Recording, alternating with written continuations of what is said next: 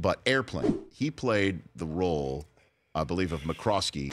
We got fog right down to the deck, every place east of the Rockies. You know, my father had a huge hit on TV called Sea Hunt. He played a skin diver. And uh, he played it so well that people thought he was a skin diver. But it was uh, kind of depressing for him as an actor because he developed this strong persona that people thought that's who, who he was. So now we cut years later to a movie that we talked about called Blown Away. Mm-hmm. And I'm talking to the producer, and I say, you know, there's a wonderful act I'd like you to consider for my playing my uncle. He kind of looks like me. He's a good actor, you know. And the guy says, oh, he, he laughed. He says, oh yeah, Lloyd Bridges. He's he's wonderful, but he's really more of a comedian. I say, what are you talking about?